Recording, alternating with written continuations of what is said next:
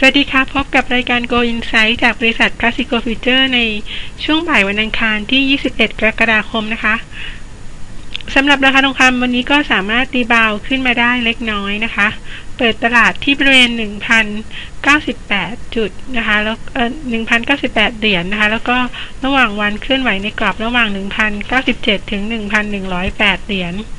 นะคะทองคำ rebound ขึ้นได้เล็กน้อยนะคะ แต่ยังไม่มีแรงซื้อเข้ามามากนักนะคะ แล้วก็ยังไม่มีปัจจัยใหม่ ๆ เข้ามาหนุนนะคะ นอกจากนี้เงินดอลลาร์ก็ยังคงแข็งค่าอยู่นะคะ เป็นปัจจัยที่กดดันราคาทองคำดอลลาร์ก็ขึ้นมาที่ 98.04 นะคะ ส่วน เงินบาทอ่อนค่าลงมาที่ 34.47 นะคะ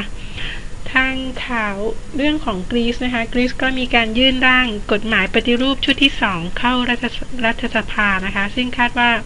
ฝ่ายฝ่ายค้านในสภาจะให้การสนับสนุนสำหรับคืนนี้ก็ไม่มีตัวเลขเศรษฐกิจของสหรัฐที่สำคัญประกาศนะคะ ถ้าเราดูภาพเทคนิคของราคาทองคำก็จะเห็นว่ายังอยู่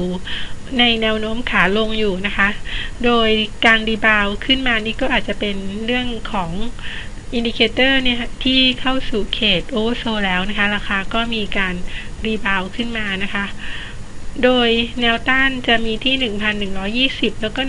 1,130 นะคะ แนวรับที่ 1,095 แล้วก็ 1,080สำหรับ